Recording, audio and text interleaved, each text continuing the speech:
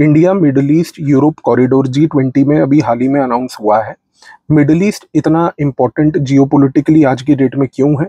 और middle east से ही ये कॉरिडोर क्यों पास किया जा रहा है? आज के इस वीडियो में मिडल ईस्ट, जो कि एक वैसे बड़ा कॉम्प्लिकेटेड एरिया माना जाता है, उस एरिया की जियो को बड़े बड़े ही सरल शब्दों में हम लोग समझेंगे। इंडस्ट्रियल रेवोल्यूशन के दौरान ब्रिटेन फ्रांस और यूरोप के अन्य देश जो हैं ओटोमोन एम्पायर नामक एक टेरिटरी जिसको वेस्ट एशिया के नाम से पहले जाना जाता था, उस इलाके से बहुत सारा ऑयल लिया करती थी। वेस्ट एशिया यानी कि उस समय का ओटोमोन एम्पायर से ऑयल लेकर इन सारे यूरोप के देशों ने अपना इंडस्ट्रियल रेवोल्यूशन पूरा किया। जब इंडस्ट्रियल रेवोल्यूशन हुआ उसके कारण से यूरोप के देशों में एक दूसरे के साथ इनसिक्योरिटी पैदा हुई। क्योंकि जो देश इंडस्ट्रियल रिवोल्यूशन ज़्यादा कर पा रहा था, वो दूसरे देश को इनसिक्योर बना पा रहा था। क्योंकि यदि ब्रिटेन अगर अपना इंडस्ट्रियल रिवोल्यूशन बढ़ा ले तो उसको देख के फ्रांस नजराज हो जाता था, और फ्रांस का इंडस्ट्रियल रिवोल्यूशन बढ़ जाए तो उसकी वजह से ब्रिटेन कभी नाराज़ हो जाता था। इसकी वजह से यूरोप में सबसे पहला विश्व युद्ध एक हुआ, और विश्व युद्ध एक के बाद जिस तरीके से विश्व युद्ध को संभाला गया उसी के कारण उसे विश्व युद्ध दूसरा भी हो खैर, हमें इस विश्व युद्ध के इतिहास में नहीं जाना है, लेकिन जब दूसरा विश्व युद्ध खत्म होता है 1945 में तो ब्रिटेन, फ्रांस और यूरोप के बाकी अन्य देश जो हैं, उनकी पावर जो है वो घट जाती है और वो इस प्रतीक घट जाती है कि इन सारों की पावर यूएस एक तरीके से ले लेता है। तो विश्व युद्ध दो के बाद ये कहना गलत नहीं होगा कि वर्ल्ड का एक सुपर पावर उस समय अमेरिका बन के उभरा। अब अमेरिका जो है, वो भी अपना इंडस्ट्रियल रेवोल्यूशन कर रहा था और वो तो पिछले सौ सालों से ही कर रहा था। लेकिन अमेरिका के इंडस्ट्रियल रेवोल्यूशन के लिए अमेरिका को भी तेल चाहिए था। हर एक देश एक ऐसी नीति हमेशा अपनाता है और ये जियो के नज़रिए से जानना ज़रूरी भी है कि यदि अगर उसके पास खुद का भी तेल हो तो वो अपना तेल कभी एक्सप्लोर नहीं करेगा, अंत तक। जब तक वो दूसरे देशों से तेल खरीद ना पाए। अब विश्व युद्ध दो खत्म होने के बाद जब शीत युद्ध यानी कि कोल्ड वॉर स्टार्ट हुआ तो उस समय अमेरिका ने दो चीज़ें सोची। उसने कहा कि सबसे पहले तो मैं मिडल ईस्ट के इलाके से, यानी कि जिसको हम वेस्ट एशिया के नाम से भी जानते हैं, उस इलाके से ऑयल लूँगा, क्योंकि ब्रिटेन, फ्रांस और बाकी यूरोप के अन्य देश वहाँ से पहले ही ऑयल ले रहे थे। दूसरा, उसने ये भी सोचा कि अगर मैं इन देशों से ऑयल खरीदूँगा तो इनको मेरे को पैसा भी देना पड़ेगा तो इनको मैं यूएस डॉलर में पेमेंट करूँगा। इस यूएस डॉलर से क्या होगा कि मिडल ईस्ट के इलाके में, यानी कि एक ऐसा इलाका जो मेरे से कई हज़ार किलोमीटर दूर है। उस इलाके में यूएस डॉलरों का बहुत सारा जमा बड़ा हो जाएगा। अगर मान लीजिए कि सऊदी अरब जैसा देश हो और अगर वो उस समय यूएस को तेल बेच रहा हो तो सऊदी अरब को तेल बेच के क्या मिलेगा? उसको मिलेगा यूएस डॉलर। अभी सऊदी अरब अगर बहुत सारे यूएस डॉलर इकट्ठा कर लेगा तो सऊदी अरब उन डॉलरों का क्या करेगा? ज़ाहिर सी बात है कि वो अमेरिका की कंपनियों को इन्विटेशन देगा कि आप हमारे यहाँ पर आइए और इन्हीं डॉलरों को हमारे से लीजिए और हमारे यहाँ पर इंफ्रास्ट्रक्चर वगैरह क्रिएट कीजिए। तो कोई भी कंट्री जो है, विश्व स्तर पर एक सुपर पावर इसी तरीके से बनती है कि पहले वो जाकर वहाँ पे चीज़ें बेचती है और चीज़ें बेचने के बाद या खरीदने के बाद उस खरीद फरोख्त के धंधे के दौरान वो अपनी करेंसी को पॉपुलराइज करती है। तो जो चीज़ हिस्टोरिकली अमेरिका ने की थी, उससे पहले जो चीज़ हिस्टोरिकली ब्रिटेन और फ्रांस करा करते थे, आज की डेट में वही चीज़ चाइना और कुछ हल्के स्तर पर कोशिश करने में इंडिया भी लगी हुई है, जिसकी वजह से हम कहते हैं कि डिजिटल ट्रांजेक्शन और रूपे कार्ड आज की डेट में जो फ्रांस तक इंटरनेशनलाइज हमने किया, वो एक मुहिम है उसी चीज़ में। खैर, वापस आते हैं विश्व युद्ध दो के बाद। अमेरिका ने जब ये निर्णय लिया कि हम मिडल ईस्ट के इलाकों से तेल खरीदेंगे तो मिडल ईस्ट में उस समय हमें जानना है कि तीन बड़ी शक्तियाँ थी। एक शक्ति थी यहूदी लोगों की, यानी कि ज्यूज जो कि इसराइल में थे। दूसरे लोग थे बेसिकली सुन्नी मुस्लिम्स, जो कि पूरा गल्फ अरब जिनके नाम से वो उसको जाना जाता है। और तीसरे लोग थे शिया, जो कि सबसे बड़ा पावर था ईरान। अब 1948 में सबसे बड़ी समस्या ये थी कि जब इसराइल बना तो इसराइल के बनने के बाद मिडल ईस्ट में ना तो सुन्नी मुस्लिम्स और ना ही शियाज, ये दोनों के दोनों इसराइल को बिल्कुल पसंद नहीं करते थे। सबसे बड़ी बात ये भी है कि शिया और सुन्नी एक दूसरे से भी नफरत बहुत करते थे और एक दूसरे के साथ नफरत करने के बावजूद भी इन दोनों में एकता दिखाई देती थी। जब इन दोनों से पूछा जाए कि आप दोनों को किससे सबसे ज़्यादा नफरत है तो वो कहते थे यहूदियों से। तो यानी कि शिया एक तो सुन्नी से कभी खुश नहीं रहेगा, सुन्नी कभी शिया से खुश नहीं रहेगा। लेकिन शिया और सुन्नी को बोलो कि तुम दोनों अगर देखा जाए तो किससे ना खुश हो तो बोलेंगे हम इसराइल से ना खुश हैं। तो अमेरिका ने इस परिस्थिति में शीत युद्ध, यानी कि कोल्ड वॉर के दौरान एक बड़ी सिंपल सी स्ट्रैटेजी बनाई। अमेरिका ने कहा कि, भाई देखो मैं यहूदियों को, यानी कि ज्यूज को सपोर्ट तो करूँगा ही करूँगा, क्योंकि ज्यूज को सपोर्ट करना पहले ब्रिटेन ने भी किया था। ब्रिटेन का इंडस्ट्रियल रेवोल्यूशन को फाइनेंस करने वाले ज्यूज थे। तो अमेरिका ने देखा कि भाई, अगर ब्रिटेन के इंडस्ट्रियल रेवोल्यूशन को फाइनेंस करने वाले ज्यूज हैं, क्योंकि उनके पास बहुत पैसा था तो उसी पैसे का प्रयोग अमेरिका ने भी किया। तो यहूदियों के साथ और अमेरिका का रिलेशन वैसे भी आर्थिक तौर पर बड़ा डीप था।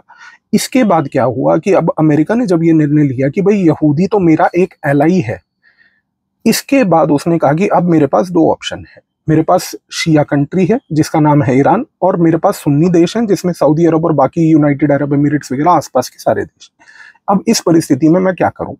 तो शीत युद्ध के इनिशियल ईयर्स में 1960 के दशक में हम ये कहते हैं, और हम ऐसा इतिहास में ऑब्ज़र्व करते हैं कि अमेरिका ने सबसे पहले ज्यूज को अपना एलाई तो बनाया ही रखा था, उसके साथ साथ उसने साथ ही में शियाज को अपना एलाई बनाया। तो उसने कहा कि भाई शिया एक ही देश है, ईरान, बाकी दूसरे जगहों पर शियाज जो है, मिडल ईस्ट में इधर उधर वो चाहे इराक में हो या वो सीरिया में हो, वो सब छोटी मात्रा में ही प्रेजेंट है। तो क्यों ना हम उस देश जो कि शिया कंट्री सबसे बड़ी कंट्री है मिडल ईस्ट की, उसको अपना जो है, एक एलाई बना इसकी वजह से क्या हुआ कि अमेरिका ने ज्यूज को अपना एलाई बना लिया, उसके बाद उसने ईरान को अपना एलाई बना लिया। अब बचे सुन्नीस। अब सुन्नीस जो थे, इन लोगों के पास तेल बहुत था। तो अमेरिका ने कहा कि इन लोगों को खुश रखने के लिए मैं एक काम ये करता हूँ कि इनसे तेल खरीदना चालू कर देता हूँ। इनको व्यापार और धंधे में अगर मैं बिज़ी कर दूँगा तो कहीं ना कहीं ऐसी परिस्थिति हो जाएगी कि ना तो इनको समय मिलेगा शिया से नफरत करने का और ना ही इनको समय मिलेगा साथ ही में यहूदियों के ऊपर, यानी कि ज्यूज के ऊपर, यानी कि इसराइल के ऊपर नफरत करने का।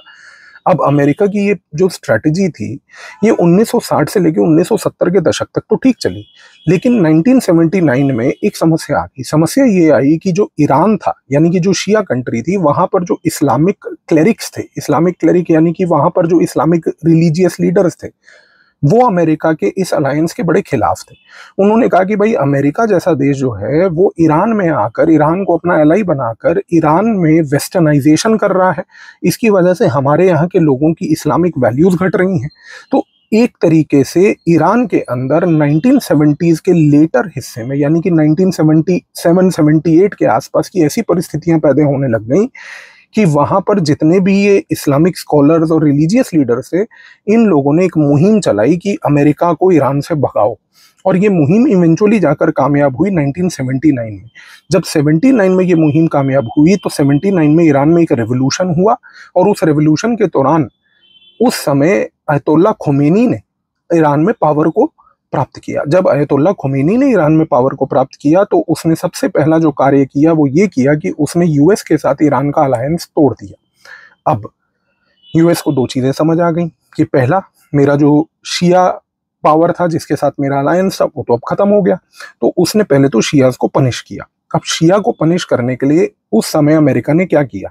उस समय उसने शिया कंट्री ईरान के बगल में ही एक देश था, इराक, उसी का फ़ायदा उठाया। कैसे फ़ायदा उठाया? 1980 में इराक और ईरान के बीच में लड़ाई पैदा कर दी। ये लड़ाई कैसे पैदा करी? अमेरिका ने उस समय 1980 में सद्दाम हुसैन, जो इराक का रूलर था, जो कि एक सुन्नी लीडर था, उसको बोला कि हम आपको आर्म्स एमुनेशन और पैसा देंगे। आप इन आर्म्स एमुनेशन पैसे को लेकर जो है, ईरान के ऊपर प्रयोग कीजिए।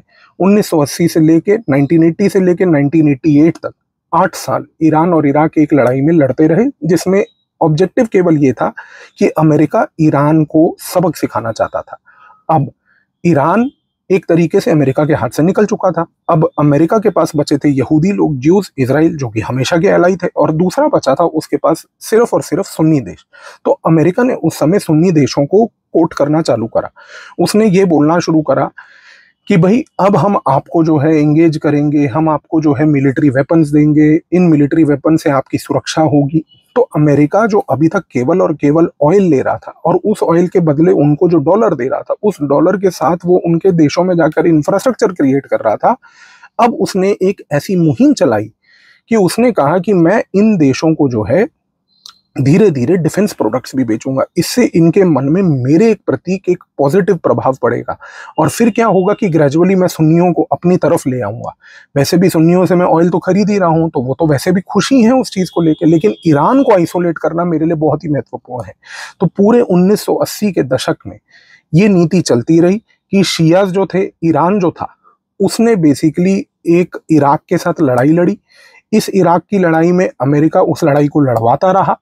और साथ साथ ईरान ने जब ये चीज़ को ऑब्ज़र्व किया कि अमेरिका का सारा पावर अब जो है शियाज की तरफ़ से हट के सुन्नियों की तरफ़ चला गया है तो ईरान ने उस समय मिडल ईस्ट के सारे आसपास के देशों में जहाँ जहाँ पर शिया पॉपुलेशन थी वहाँ वहाँ पर प्रॉक्सी ग्रुप्स क्रिएट करना चालू कर दिए। फॉर एग्जांपल जैसे पैलेस्टीन के अंदर उसने जो है प्रॉक्सी ग्रुप्स को कराना क्रिएट करना चालू कर दिया। लेबनन में उस समय उसने हिजबुल्ला नामक एक संस्था बनाई, उसके थ्रू उसने जो है सुन्नियों के ऊपर आक्रमण चालू कर दिया। सीरिया में उसने देखा कि भाई जो सीरिया है, वहाँ पर भी जैदी सेक्ट के लोग रहते हैं और ये जैदी सेक्ट जो है, ये तो शिया इस्लाम का ही एक सेक्ट है। तो उस केस में उसने असाद फैमिली जो कि जैदी शियाज थे, उनको भी सपोर्ट करना चालू कर दिया और इस सपोर्ट के बाद ईरान ने पूरे मिडल ईस्ट में एक प्रॉक्सी वॉर चालू कर दी। उस समय जब अमेरिका पैसे देके इराक को ईरान से लड़वा रहा था, अब इस पूरे गेम में 1990 में जब शीत युद्ध खत्म होता है कोल्ड वॉर खत्म होती है तो रशिया उस समय एक इंडिपेंडेंट पावर भी बन जाता है। उससे पहले तो वो शीत युद्ध में अमेरिका के साथ एक लड़ाई में बिज़ी था। लेकिन अब वो शीत युद्ध और एक आइडियोलॉजिकल लड़ाई खत्म हो चुकी थी। तो 1990 के बाद जो परिस्थितियाँ थी, उसमें दो चीज़ें रशिया को बहुत स्पष्ट तरीके से समझ आई और रशिया एक समझदार देश है। रशिया ने ये देखा कि देखिए, अमेरिका इस समय सारे के सारे दांव अपने जो है सुन्नी मुस्लिम्स के साथ खेल रहा है। ईरान केवल एक ऐसा शिया देश है जिसको वो आइसोलेट कर रहा है। तो रशिया ने सबसे पहले ईरान की बैकिंग करना चालू किया। आज तक रशिया और ईरान एक दूसरे के साथ है। दूसरा, क्योंकि रशिया का दोस्त चाइना उस समय बनने लगा था और चाइना पहले से भी आइडियोलॉजिकली वो एक दूसरे के साथ थे। बीच में थोड़ी मनमुटाव हुई थी, जिसकी वजह से थोड़े इश्यूज़ आए थे। पर शीत युद्ध खत्म होने के बाद जब रशिया चाइना एकजुट हुए तो रशिया चाइना का एकता को देखते हुए, रशिया ईरान की एकता को देखते हुए रशिया, ईरान और चाइना तीनों एकजुट होने लग गए। तो ये जब तीनों लोग एकजुट हुए तो इसके बाद एक शिया पावर को रशिया की और चाइना की ग्रेजुअली बैकिंग मिलने लग गई। दूसरी जगह पर जो सुन्नी पावर्स थे, उनको अमेरिका की बैकिंग मिलने लग गई और साथ ही में वो जीव के साथ थे, लेकिन अभी भी जो मेजोरिटी सुन्नी देश थे, ये जीव के साथ इसराइल के साथ अभी भी कंफर्टेबल 1990 के दशक तक थे नहीं। लेकिन सब समस्या एकदम और गहरी हो गई। गहरी हुई 2001 में जब 9/11 का अटैक हुआ। 9/11 के अटैक के बाद अमेरिका का सारा का सारा फोकस जो है वो लग गया पूरा का पूरा सिर्फ़ इराक और अफ़गानिस्तान में। अब इस समय जब इराक और अफ़गानिस्तान में अमेरिका एक पूरा टाइम से बिज़ी हो गया, एक लड़ाई और जंग लड़ने में, उस समय रशिया ने और चाइना ने मिलकर दो काम करे। रशिया ने सबसे पहले शिया को, यानी कि ईरान को पूरी बैकिंग देते हुए उसको मज़बूत करने की शुरुआत करी। दूसरा, उसने उन सारी प्रॉक्सी एरियाज़ में जहाँ जहाँ पर ईरान सपोर्ट कर रहा था, उस जगह पर रशिया ने भी अपना प्रॉक्सी सपोर्ट धीरे धीरे देना शुरू कर दिया, ताकि ईरान और मज़बूत हो जाए अमेरिका के खिलाफ लड़ने के लिए, क्योंकि इन प्रॉक्सीज के खिलाफ अगर जब लड़ाई हो रही थी तो वो सुन्नियों को मार रहे थे और सुन्नीज इनडायरेक्टली अमेरिका के सपोर्ट में थे। तो इस केस में, जब अमेरिका बिज़ी था नाइन इलेवन के बाद अफ़गानिस्तान और इराक में तो शिया पावर धीरे धीरे राइज हुई। दूसरी सबसे बड़ी चीज़, चाइना। उस समय मिडल ईस्ट में बहुत गहरे तरीके से आया। चाइना जैसे ही मिडल ईस्ट में गहरे तरीके से आया, उसने मिडल ईस्ट में शीत युद्ध खत्म होने के बाद 1990 के दशक से मिडल ईस्ट से बहुत सारा तेल खरीदना चालू कर दिया। और 9/11 के बाद जब चाइना ने ये चीज़ ऑब्ज़र्व करी कि अमेरिका तो बिल्कुल ही बिल्कुल बिज़ी है अफ़गानिस्तान और इराक की लड़ाई लड़ने में, और वो बेसिकली बिज़ी है साथ ही में सद्दाम हुसैन को हटाने में, तालिबान को हटाने में इधर उधर ये सब चीज़ें करने में, उसका फ़ायदा चाइना ने सबसे ज़्यादा उठाया कि उसने चुपचाप सुन्नी मुसलमानों के साथ जाकर एंगेजमेंट चालू कर दिया और चाइना ने सुन्नी मुस्लिम को बोला कि भैया, आपके पास तेल है, हमको ज़रूरत है, आप हमको तेल दे दीजिए। और इसी टाइम पे इंडिया क्योंकि शीत युद्ध खत्म होने के बाद जब इंडिया ने अपनी इकोनॉमी को ओपन अप किया तो इंडिया में भी तेल की डिमांड और ज़्यादा बढ़ गई। और उस टाइम पे इंडिया फिर से एक पार्टनर बन के चली गई वापस, कि भाई, सुन्नी देशों को बोला कि आप हमें भी थोड़ा सा तेल दे दीजिए। तो सुन्नी देश जो थे, उस समय बड़े ही दिलचस्प सिनेरियो में थे। वो तेल बेच रहे थे, अमेरिका को वो तेल बेच रहे थे, चाइना को, और वो देख रहे थे कि चाइना फ्यूचर में एक बहुत बड़ा पार्टनर बनने जा रहा है तेल खरीदने वाला। और वो तेल बेच रहे थे इंडिया को, और ये भी देख रहे थे कि इंडिया भी आने वाले समय में एक बहुत बड़ा पावर बन जाएगा जो तेल खरीदने वाला होगा हमसे। लेकिन अमेरिका अपनी सारी शक्तियाँ उस समय जो है अफ़गानिस्तान और इराक की लड़ाई में लगा रहा था। जब ये चीज़ें होती रही तो उस समय पूरा का पूरा फोकस अमेरिका का इस रीजन से हट गया। क्योंकि जब अमेरिका सिर्फ़ और सिर्फ़ अफ़गानिस्तान और इराक की लड़ाई लड़ रहा था तो मिडिल ईस्ट के जो सुन्नी देश थे, जिनको अमेरिका से हमेशा सपोर्ट मिलता था, अमेरिका अब इनके बारे में कुछ सोच ही नहीं रहा था। और ये चीज़ देखकर इन मिडिल ईस्ट के देशों को बहुत बुरा लगा। उनको लगा कि भाई, अमेरिका हमारे बारे में सोच क्यों नहीं रहा है? तो जब उन्होंने ये एक पावर वैक्यूम ऑब्ज़र्व किया, इस पावर वैक्यूम को देखा तो चाइना ने ये देखा साथ में कि भाई, अमेरिका इस समय इन लोगों की मदद नहीं कर रहा है। और अगर अमेरिका इन लोगों की मदद नहीं कर रहा है, मिडल ईस्ट में सुन्नियों की तो क्यों ना इन सुन्नियों की मदद हम करें? तो सुन्नियों से चाइना तेल खरीद ही रहा था और तेल खरीदते खरीदते चाइना ने वो पावर वैक्यूम को फिल करना शुरू कर दिया, जो अमेरिका एक वैक्यूम क्रिएट करके सारा फोकस अफ़गानिस्तान और इराक की लड़ाई पर लगा रहा था। अब जब चाइना ने इन शूज़ के अंदर स्टेप किया और वो धीरे धीरे इस पावर वैक्यूम को भरने लगे तो उस केस में एक चीज़ और हो गई कि इंडिया इस गेम में पीछे नहीं हटा। इंडिया ने भी अपने हिस्टोरिकल कल्चरल रिलेशंस को एक्सप्लोर करा। इंडिया ने भी जितनी कैपेसिटी अपनी इकोनॉमिक लेवल पे बढ़ाई, उस कैपेसिटी के साथ साथ उसने भी एक सिक्योरिटी गेम खेलना शुरू कर दिया सुन्नीस के साथ। और वो साथ साथ अपना एंगेजमेंट शियाज के साथ भी करता रहा। अच्छा इंडिया के साथ सबसे बड़ा फ़ायदेमंद पॉइंट ये था कि सुन्नी मुसलमानों के साथ अच्छे रिश्ते हिस्टोरिकली होने के बावजूद भी हमारे रिश्ते शियाज के साथ, यानी कि ईरान के साथ हमेशा से अच्छे रहे थे। और उसका सबसे बड़ा कारण ये भी है कि भारत में आज की डेट में second largest Shia Muslim population in the world जो है, ईरान के बाद यहीं रहती है। तो ईरान को ये बात लगी कि भाई भारत तो एक बहुत ही अच्छा महत्वपूर्ण देश है। तो उस कॉन्टेक्स्ट में भी भारत और ईरान के रिश्ते और अच्छे होने लगे। तो जैसे जैसे ये चीज़ होने लगी तो उस समय अमेरिका का पूरा का पूरा जो ये डी प्रायोरिटाइजेशन था मिडल ईस्ट का, जिसमें वो मिडल ईस्ट के उस इलाके को समझ ही नहीं पा रही थी कि भाई मेरी सुन्नियों को ज़रूरत है अभी इस समय और मैं सिर्फ़ सारा फोकस अफ़गानिस्तान, इराक पे लगा रहा हूँ और सुन्नीस जो है इस समय जो चाइना से, इंडिया से, इन लोगों से एंगेज कर रहे हैं, वहाँ पर रशिया और चाइना मिलके ईरान को सपोर्ट कर रहे हैं तो धीरे धीरे अमेरिका की ज़मीन जो है पूरे मिडल ईस्ट के पैरों तले हटने लगी। और अमेरिका का एक तरीके से ये कहना गलत नहीं होगा कि भाई उनका प्रेजेंस मिडल ईस्ट में घटने लगा। अच्छा अब जब ये 2010 तक का समय आया, जब अमेरिका को ये समझ आ गई कि भैया अफ़गानिस्तान और इराक की लड़ाई से अब हमारा खात्मा होने लगा है और ओसामा बिन लादेन ऑलमोस्ट 2011-12 तक पकड़ा गया और मारा भी गया इवेंचुअली उसके बाद, तब अमेरिका को एक चीज़ समझ आई। उन्होंने देखा कि भैया ये मिडिल ईस्ट में हमारे पीछे पिछले दस साल में क्या चल रहा था? हमारा पूरा का पूरा पावर वैक्यूम जो है, ये सुन्नी मुसलमानों ने तो चाइना से फुलफिल करा लिया तो अमेरिका ने 2011 में जाकर सुन्नी मुस्लिम देशों को बोला कि सुनिए, चाइना को हटाइए, हम आ रहे हैं वापस। पर सुन्नी मुसलमान देश उस समय बोल दिए कि नहीं, पिछले दस साल से आपको कोई इंटरेस्ट नहीं था यहाँ पर कि हमारे क्या कंसर्न है, हमारी मार्केट कैसे फोकस करनी है। आप अपना अफ़गानिस्तान और इराक की लड़ाई में बैठ के वहाँ पर नया नया टेक्नोलॉजी बना बनाकर उसको टेस्ट कर रहे हैं। अब हम चाइना को स्पेस देना चाहते हैं। और जब इन लोगों ने अमेरिका को ये बात सुन्नी मुसलमान देशों ने बहुत स्पष्ट तरीके से बोली तो अमेरिका इस चीज़ से नाराज़ हुआ। और उस समय 2011 में ओबामा एडमिनिस्ट्रेशन जो था, अमेरिका में जो ओबामा राष्ट्रपति थे, उन्होंने ऑर्डर किया कि मिडल ईस्ट में इन सुन्नी देशों को तंग किया जाए, उनको तंग करने के लिए सबसे महत्वपूर्ण चीज़ इन्होंने ये करी कि इन्होंने अरब स्प्रिंग का मूवमेंट क्रिएट कर दिया। दे, सोच के देखिए कि पूरा अरब स्प्रिंग का मूवमेंट सुन्नी देशों के ऊपर आया। अब जब सुन्नी देशों के ऊपर अरब स्प्रिंग का मूवमेंट आया, उस समय अमेरिका ने तुरंत दूसरी चीज़ शुरू कर दी, कि अपनी प्रेजेंस को वापस इस इलाके में लाने के लिए उसने ईरान को कोट करना चालू कर दिया। अब वो ईरान के दरवाजे पे जाकर ईरान को बोला कि सुनो, तुम हमने देखा है कि तुम शायद न्यूक्लियर बम बना रहे हो, कोई ज़रूरत नहीं है न्यूक्लियर बम बनाने की, आओ एक न्यूक्लियर डील साइन कर लेते हैं। अब देखिए मिडल ईस्ट के देशों में ये चीज़ों को देखकर और घबराहट पैदा हुई। क्यों? क्योंकि जब 2011 में अमेरिका वापस मिडल ईस्ट में आया तो उस समय जो उसके ट्रेडिशनल हिस्टोरिकल एलाई सुन्नीस थे, उनका सपोर्ट अमेरिका ने नहीं किया, बल्कि उनको डिस्टेबलाइज करने के लिए वहाँ पर अमेरिका ने एक मूवमेंट अरब स्प्रिंग नामक चला दी। और दूसरी सबसे महत्वपूर्ण चीज़ ये थी कि वो ईरान के साथ न्यूक्लियर डील साइन करने लग गया। अब अमेरिका का ऑब्जेक्टिव सिंगल पॉइंट एजेंडा सिर्फ़ ये था कि सुन्नियों को सबक सिखाएँ और साथ ही में शियाज जो ईरान है, उनको एक न्यूक्लियर डील दे के कोट कर लें ताकि शियाज जो है वो रशिया और चाइना के पास ज़्यादा ना जाए। लेकिन ईरान ने उस समय अमेरिका के इस बेवकूफ़ों वाले व्यवहार का एडवांटेज उठाया। उसने न्यूक्लियर डील साइन तो कर ली, लेकिन उसके कोई कमिटमेंट को फुलफिल ही नहीं किया।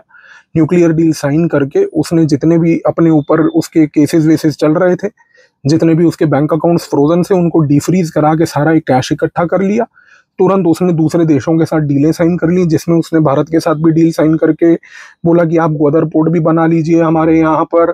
छाबार जो गोदर पोर्ट पाकिस्तान में था, उसको काउंटर करने के लिए सॉरी छाबार पोर्ट आप बना लीजिए हमारे यहाँ पर। और छाबार पोर्ट का क्लियरेंस ईरान ने जब भारत को दिया तो उस छाबार पोर्ट के क्लियरेंस के बाद उसने international north south transit corridor को भी साइन कर लिया। तो ईरान ने न्यूक्लियर डील का फ़ायदा भी उठाया, अमेरिका की मूर्खता का फ़ायदा उठाया दूसरे देशों के साथ तुरंत डीलें साइन कर ली और सारी कमिटमेंट से भाग गया। अब, जब अमेरिका ने देखा कि भाई ईरान ने तो हमारे साथ ये खेल खेल दिया, कि भैया उसने तो न्यूक्लियर डील एक चाबी खोल के दरवाज़ा खोला, अंदर घुसा, सारा सामान लूट लिया, उसके बाद ताला लगाया, भाग गए, जैसे कि घर में तो कुछ हुआ ही नहीं। जब अमेरिका ने यह व्यवहार देखा तो अमेरिका ने समझा कि भाई यहाँ पर तो समस्या है। समस्या ये है कि भाई पहली चीज़ इस पूरे इलाके में चाइना का दबदबा ग्रेजुअली बढ़ रहा है। इस चाइना के दबदबे को घटाना है। दूसरी चीज़ कि यहाँ पर हम अपने ट्रेडिशनल एलआई के साथ ही फोकस करें तो बेटर है। हमारा ट्रेडिशनल एलआई हमेशा से जो था, पहली बात तो ज्यूज थे और दूसरी बात जो थे वो थे इनिशियली सुन्नीस हमारी गलती ये है कि हमने सुन्नियों के साथ भेदभाव किया। पहले उनको निग्लेक्ट किया, फिर उनको हमने डिस्टेबलाइज करा अरब स्प्रिंग करके। अब अमेरिका को ये चीज़ ईरान के उस एक्सपीरियंस के बाद समझ आई कि ईरान एक ट्रस्टवर्दी देश नहीं है। लेकिन मैंने आपको बताया था, शीत युद्ध खत्म होने के बाद से रशिया और चाइना सारा का सारा ज़ोर ईरान के साथ लगा रहे थे। उन्होंने ईरान को बहुत ज़्यादा प्रॉपअप भी किया था और रशिया और चाइना ने, और खास करके चाइना ने, अपने रिश्ते सुन्नियों के साथ और शिया ईरान के साथ, दोनों के साथ बना के रखे थे। और दोनों जगह पर ईरान के रिश्ते जो थे, वो बेसिकली जो चाइना के रिश्ते थे, वो बेसिकली आर्थिक थे। तो इस आर्थिक स्थिति में जब चाइना का एक प्रेजेंस बढ़ गया, तब अमेरिका को ये चीज़ समझ आई कि भैया, हमें इस इलाके में डी प्रायोरिटाइज करके जो हम हट गए थे, इस इलाके में भी रीप्रायोरिटाइज करना होगा। लेकिन समस्या थी। अमेरिका के पास अब उतना पैसा नहीं था, क्योंकि अफ़गानिस्तान, इराक इधर उधर की अनशंट लड़ाइयों में बिलियंस ऑफ़ डॉलर्स बर्बाद कर चुके थे ट्रिलियंस ऑफ़ डॉलर्स बर्बाद कर चुके थे। तो अब पैसा वापस इस इलाके में कैसे आएगा? तो अमेरिका ने फिर एक नीति बनाई। अमेरिका ने सोचा कि भैया देखिए, अब हम फुल फ्लेजिडली शीत युद्ध की तरह से वापस इस पूरे इलाके में सुन्नी का सपोर्ट करने, शिया को काउंटर करने तो अब जा नहीं सकते।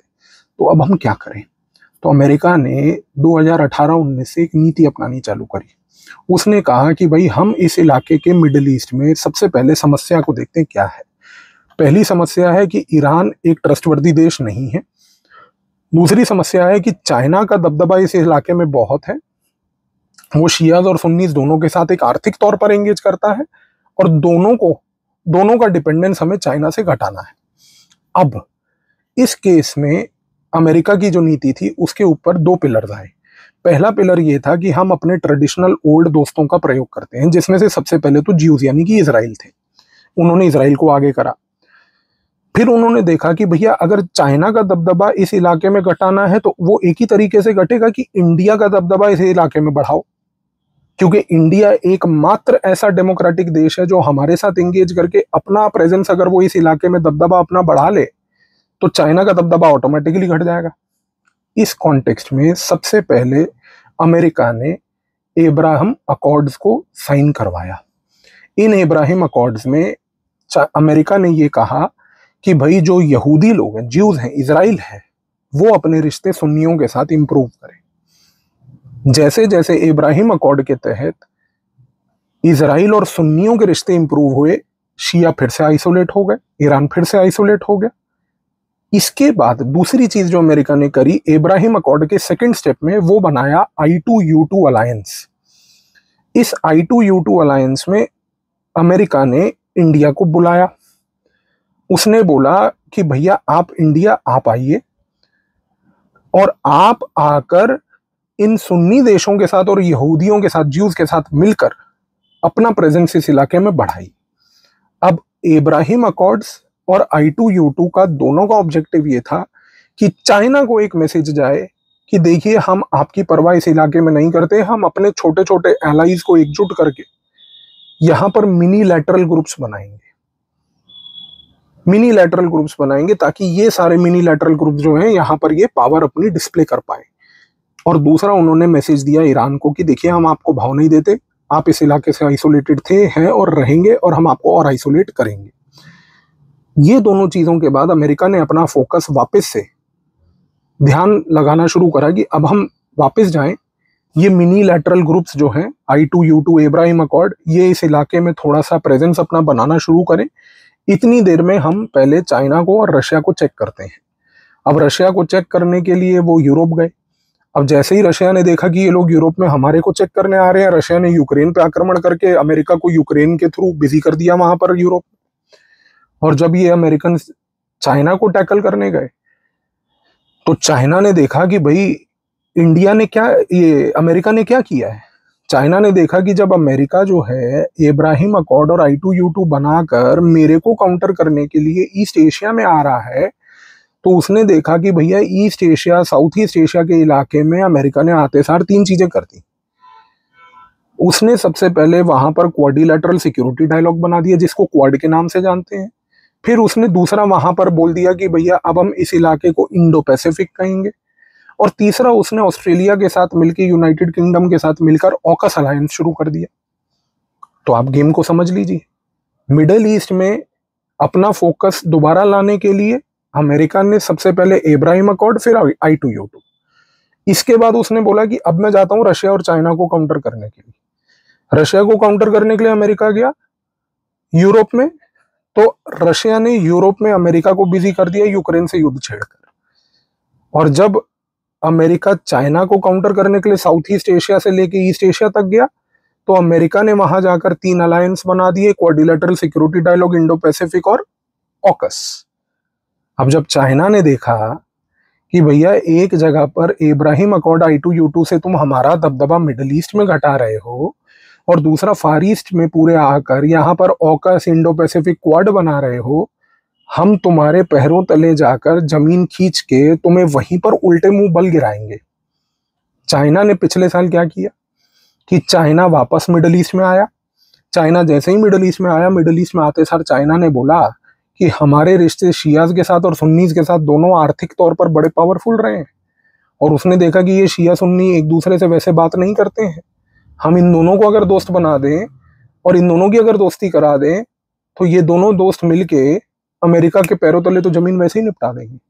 इसीलिए आप देखिए कि चाइना वापस इस इलाके में चुपचाप आया और आते सर चाइना ने अमेरिका के लिए एक और डिलेमा क्रिएट कर दिया और वो डिलेमा ये था कि उसने सऊदी अरेबिया और ईरान का रेप्रोचमेंट करा दिया, दोस्ती करा दी। अब अमेरिका भोखला गया कि भैया एक जगह रशिया यूक्रेन का युद्ध चल रहा है, दूसरी जगह चाइना मिडल ईस्ट में आकर हमारे ही पुराने एलाई को काउंटर करके बेसिकली उन दोनों को ही दोस्त बनाने में लगा है। तो जैसे ही ये हुआ, अब अमेरिका के मन में एक चीज़ समझ आ गई। अमेरिका को समझ आ गया कि भैया अब हमें इस इलाके में कुछ ना कुछ करना पड़ेगा। उसने जाकर फिर से सुन्नियों को बोला कि सुनिए, हम नहीं चाहते कि आप जो है चाइना के साथ जाएँ। सुन्नी देशों ने बोल दिया कि देखिए, आप बिल्कुल ट्रस्टवर्दी नहीं है। उन्होंने अमेरिका के मुँह पे बोला कि हम आपको ट्रस्ट इसलिए नहीं करते क्योंकि कभी आप ईरान को कोट करते हैं, कभी आप ईरान के साथ डील साइन करते हैं, फिर कभी आप हमें डिस्टेबलाइज करते हैं, हम इंडिपेंडेंट रहेंगे। हमें जो करना है, हम अपने आप देख लेंगे, आपको आके बताने की आवश्यकता नहीं है। अब इतना बड़ा स्नब हो गया अमेरिका को। उसको समझ ही नहीं आई कि भैया, ये चीज़ मेरे साथ कैसे हो गई? जब अमेरिका को ये चीज़ समझ नहीं आई कि मेरे साथ ये चीज़ कैसे हो गई तो अमेरिका ने सोचा कि यार कुछ तो इस इलाके में अब हमें करना ही होगा। जब अमेरिका सोच ही रहा था कि हम कुछ करें, इतनी देर में चाइना ने अमेरिका को जो धीरे से खड़ा हुआ था अभी गिरने के बाद, उसको दोबारा गिराया। ब्रिक्स के समिट में हाल ही में इसी साल चाइना के कहने पे और रशिया के कहने पे मिडल ईस्ट में सुन्नी देश जो हैं, वो सारे आकर पहली बात तो ब्रिक्स का पार्ट बन गए। और दूसरी बात इसी साल, चंद महीने पहले एस के समिट में ईरान को मेंबर बना दिया। तो चाइना ने दिखा दिया कि भैया हम ईरान को एस में, यानी कि शियाज को एस में और सुन्नियों को ब्रिक्स में लाएँगे। तुम्हारा दबदबा काटेंगे। अब जब अमेरिका ने ये देखा कि भैया हमारे पैरों तले तो ज़मीन निकल ही गई, हम तो मतलब गटर में गिर के पूरे एकदम कीचड़ में, दलदल में गिर गए। तो फिर वो निकले एकदम विजय राज की तरह। जैसे वो नदी से बाहर निकला, अपना मुँह पहुँचा उन्होंने और देखा कि भाई अब हम क्या करें। इस कॉन्टेक्स्ट में जब जी ट्वेंटी का अभी ये समिट भारत में हुआ तो घबराया हुआ भोखलाया हुआ अमेरिका जो है, उसने आके ये बोला कि भैया, सुन्नी, मुसलमान देशों, हम तुमसे माफ़ी मांगते हैं। गलती हो गया। अब आप एक काम कीजिए कि हम पे थोड़ा सा विश्वास कीजिए। इस कॉन्टेक्स्ट में India Middle East Europe corridor बनाया गया प्रपोजल आया। अब इस प्रपोजल के तहत सुन्नी देशों को यह बात बोली गई, खास करके मिडल ईस्ट में, कि भाई आप पहले तो भारत के साथ अपना एंगेजमेंट और बढ़ाइए। हम ये नहीं कह रहे कि चाइना के साथ घटाइए, पर जितना हो सके भारत के साथ बढ़ा लीजिए। और दूसरा, इस कॉरिडोर के तहत जिसमें शिपिंग लाइन रेलवे लाइन ये सब चीज़ें होंगी, इसके तहत आप ये इंश्योर कीजिए कि हम आपको एक्सेस दिलवाएँगे यूरोप की मार्केट्स का, क्योंकि India Middle East Europe corridor है ये। अब अगर मिडल ईस्ट को यूरोप की मार्केटों का एक्सेस मिलेगा तो मिडल ईस्ट के अंदर डाइवर्सिफिकेशन हो जाएगा, क्योंकि मिडल ईस्ट जो है, वो अभी चाइना को भी ऑयल दे रहा है इंडिया को भी ऑयल दे रहा है, और अब उसको अपॉर्चुनिटी यूरोप की भी मिल रही है, जो कि अभी तक नहीं थी। क्योंकि अभी तक यूरोप की सारी मार्केटें रशिया पे निर्भर थी। और मैंने आपको बताया था कि रशिया ने अमेरिका को यूरोप में काउंटर करने के लिए यूक्रेन युद्ध छेड़ दिया था। तो अब रशिया को यूरोप में अंडरकट करने के लिए अमेरिका ने India, Middle East, Europe corridor बनाया और मिडल ईस्ट को बोला कि जितना एनर्जी रिक्वायरमेंट यूरोप का जो रशिया से निर्भर है, वो अब आप प्रोवाइड कीजिए। तो मिडल ईस्ट के जो ये सुन्नी देश हैं, ये कुछ हद तक अब थोड़े बहुत खुश हुए हैं। कि चलो इंडिया चाइना मार्केट थी ही थी। अब यूरोप का एक बड़ा मार्केट है जिसको देखना है आगे। लेकिन अब आप इस चीज़ को तो समझ गए कि ये India Middle East Europe corridor G twenty में प्रपोज किया क्यों? इसके पीछे का खेल तो जान गए। लेकिन ये चीज़ मत भूलिएगा, जो वीडियो के अंत में मैं आपको एक सबसे महत्वपूर्ण पॉइंट बोलना चाहता हूँ, कि मिडल ईस्ट एक पावर कॉन्टेस्ट का रीजन था, है, और हमेशा रहेगा।